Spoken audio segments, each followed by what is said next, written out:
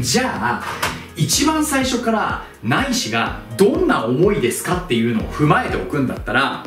僕の気持ちは離れませんよとか言ってたくせに結局男来なくてその代わり何言ってきたかってやっぱりお前が選択してくれってふざけんなみたいな感じじゃないですか。いやだからふざけんなっていう思いがしっかりとここに踏まえられているだろうなって思って読んだかどうかってやっぱり大事ですよ。